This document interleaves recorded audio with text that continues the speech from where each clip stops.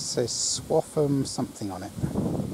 Probably where it's been hired from. Swaffham IDB.